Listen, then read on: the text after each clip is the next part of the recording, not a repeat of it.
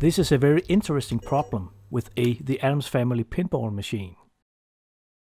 When the grave A target switch is actuated, not only does that register, but two additional switch inputs do register as well.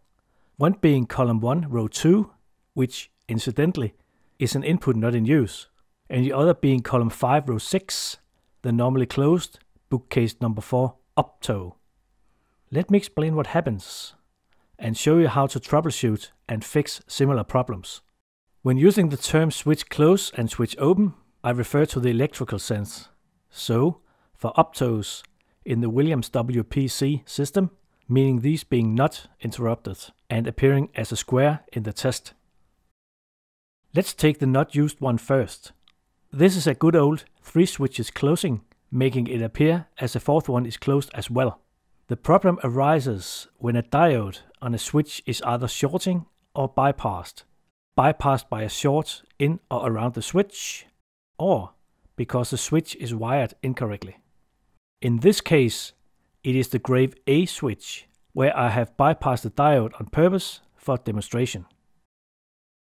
When column 1 is strobed, and with its row 6 switch, center trough, being closed, row 6 becomes active. The grave A switch is sitting on that row on column 8. When grave A is closed and with its diode bypassed, it will make column 8 active. This is the core of the problem. However, it will not show as a column 8 related issue directly.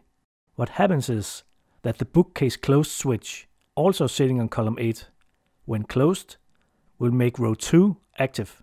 And as column 1 is the currently strobed column, this is interpreted by the game as the not used switch input being active. On column 8, the thing up opto switch on row 5 is also closed. But as the column 1 row 5 switch left trough is active, as the ball trough is loaded, this will not ghost trigger. Not in this particular mechanical state of the game. However, in a gameplay situation this could, in theory at least, cause a premature end of ball. The way to troubleshoot similar ghost switch hit problems is the following. You start off on the column of the switch that is incorrectly registering.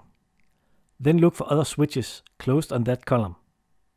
Then look for other switches closed on the row of the ghost switch.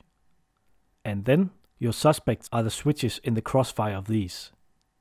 The switch with the bad diode situation is always the diagonal one from the ghost. But the switch appearing to trigger the ghost may be either one of the three. The issue with the opto switch that is registered as open when the grave A switch is closed is the result of an arm wrestling between the comparator in the opto circuitry and the pull-up resistor of the column 8 drive stage. With the diode bypassed, the comparator is exposed to more than twice the load and is unable to drive the voltage below the threshold of the input stage. In time at least. Switch matrix strobe pulses are very, very narrow. The funniest one, in the diabolical sense of the word, of the ghost switches I ever fixed was on a Circus Voltaire game. It was slam tilting during play. The people calling for my assistance were saying, We have tried everything, but cannot replicate the slam tilt fault. Please help. On this game, I found the Mexican standoff to be the ringmaster mech to be in the top position, and the target behind the menagerie ball, and coin door closed. Now, this is double the trouble. During testing and troubleshooting, you are likely to have the coin door open, and thus will never replicate the problem. And during play, when is this most likely to happen? During a ringmaster multiball with the ball unintentionally hitting the target. With balls flying around in a multiball, who will make out exactly what caused the slam tilt? This was a manufacturing mistake made when the game was built in 1997 and fixed a few years ago. In this time, imagine how many people were kicking and shouting over this game when it was operated on location. And later, how many people got DQ'd over this to no fault of their own when the game was used for competition. Which reminds me of the golden advice to disconnect slam tilt switches on games used in competition. Slam tilt is irrelevant in competition. And to TDs responsible for a competition, it is a bliss to be able to call any slam tilt a malfunction of the game.